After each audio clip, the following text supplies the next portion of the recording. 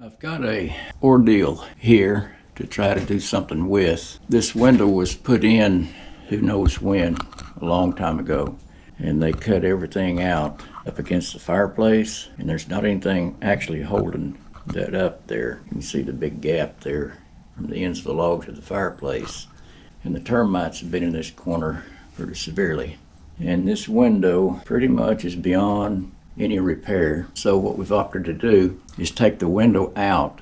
I will fill in, it'll be kind of a laminate type thing that I'll be doing. I'll put a laminated face on the outside and fill from here over. And I've got a treated 4x4 to put here going up to that log right there that goes all the way across and it'll go down to the to the footing and I'll be able to hook to that with the outside faces all the way down. And these logs here are just in here. There's nothing holding them up except the notch in the corner. And I've got to shim them up, raise them some. I can't raise them a whole lot because the notch itself has them locked. So I'll do what I can with it. It's going to be a pretty tough fix job. I think we can do something here to save this corner. The ideal thing would be to take these logs out and replace them, but with the budget that I'm on, that would be a little more than what we can do. So I'm doing the next best thing. I realize this is not the perfect thing to do here, but I'm doing the best I can with the with what I have to work with. And hopefully when I get this back together, it won't be as such a bad looking thing. This is the outside. See the window is leaning way out at the top. And some of these logs, is not a whole lot left the heart, which is still good and solid, even though the termites has been there, the heart is still solid, so I can attach the faces to that. But this was done a long, long time ago. You can see the square nails that they used. That takes it on back a good, good many years back into the 1800s. Now somebody has made this and put over there. You can see there's just regular Phillips drywall screws holding that uh, those boards together. Well, I've got the old window out. They did hew a small timber and put in there, but it's only held with one, looks like about a 20 penny nail that went into this log right here. And I'm guessing that this timber upright actually sat here on top of this log at one time. There's a square nail right there that was probably driven in here and when this slipped over it, it bent the nail. So I'm going to put an upright in there all the way to the to the footing, and put some blocking in here to hold this log up, which still has pieces of wood in the chinking gap here, which is holding this log up. But this log is slipped out uh, close to three inches, and the fireplace was built right up against it, so I can't do anything with that. But I'm going to do something similar to what they did. I'm going to let my post timber go all the way up against that log there. This is what I've got to deal with from the outside.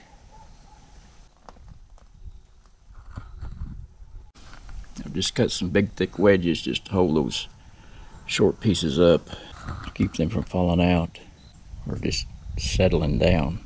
You see there's been some termites in there. This piece here goes plumb back in. I'm not sure how far back in there it goes. I just have to cut that off as close as I can.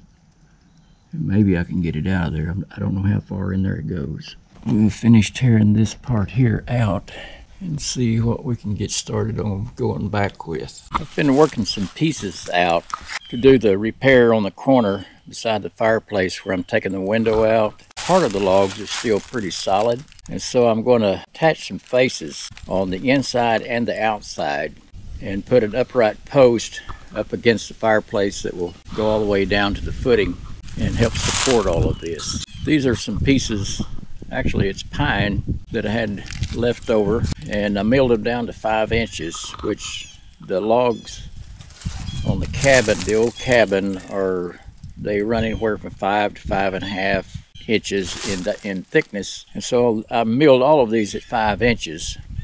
So I'll rip these down to about nine inches wide. The faces are all nine inches wide. They came off of some four by nines that were seasoned out really well. I'm cutting these just a little over five feet. Actually, they're about five foot three in the length. And this one here, you can see I've I've had to brush it quite a bit with a chainsaw. Had a pretty good hump in it, and so I I took that out, and I'll be able to score it and hew it, and then mill it with the, the Alaskan mill on my, my big chainsaw.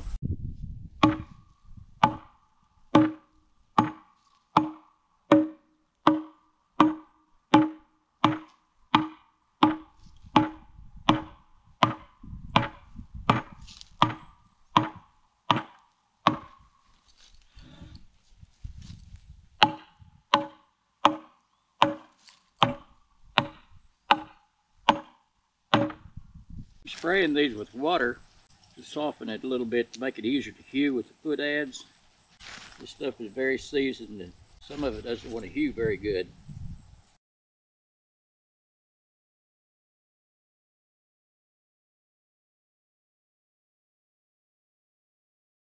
I've got my timber set on an incline to where when I'm going down it with the mill, I'll be going downhill, which makes it a little easier to cut.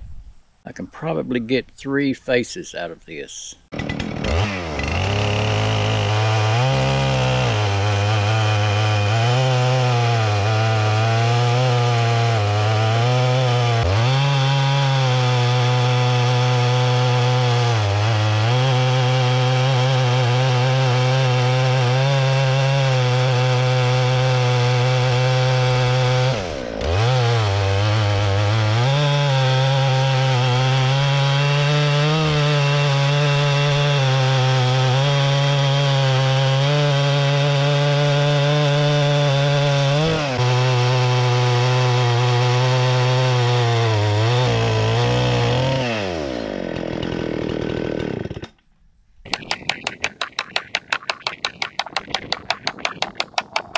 Been working on doing this repair. I've got about all of them care of on the outside except for that little short one at the top. I've got a 4x4 post up against the fireplace here. And I've got it anchored in on the log up above there pretty good and it goes all the way down down to the footing. And I've got these logs here on the bottom the bottom two logs that were that went underneath the window. I've got them anchored into the the 4x4 post. And I may have to go ahead and just put another face on this these two bottom logs so this all kind of blends in together I'll take you inside so you can see kind of what I'm doing here. I've got these pine logs that are timbers that I made that are five inches thick. It's just kind of an average of the thickness of the old logs. And I'll have to do some fill in and fixing on them. And you can see the 4x4 there. It's all the way down. That's what I showed you on the outside. And up to the, the one log that goes all the way across and I'm screwing the ends of the logs together the best I can with some long Torx screws into the ends and just raising this up kind of as an average and on the outside I can shape the faces kind of blend that in to the natural shape of the logs instead of just a straight line across there. I've had to put big wedges in just to hold these little short pieces up you can see they're in pretty sad shape as far as the outside surface. The insides of them are pretty solid. I know when I'm running a Torx screw in, it takes a little effort on my impact driver. Once I get this last one on, which is goes in here across and get the face on, I'll, I'll come on the inside and start putting faces on the inside.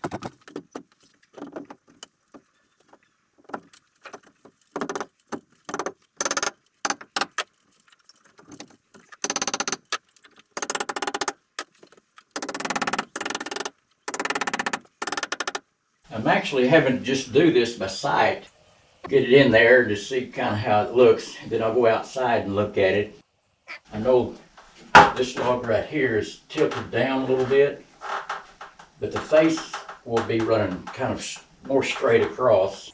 And I'll be able to shape those faces to where it look like a, natural top and bottom edge.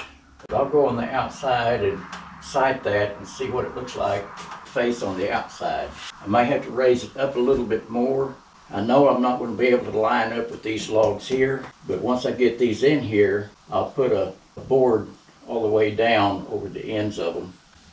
Because uh, this, there's been so much settling on this cabin. It was so out of kilter, just doing the best that I can with it. So I'll be able to, to break it up right here with an upright piece. This log here, I may have showed you, fireplace is built right up against it and it's in and I can't go out with it. The fireplace is already got that established. I've got that screwed in there. I thought I had the camera on, but I didn't. But I've measured the face. I'm ready to cut it and then I'll attach it to what's left of that little log there. It's that part is actually the heart and it's it's really really solid.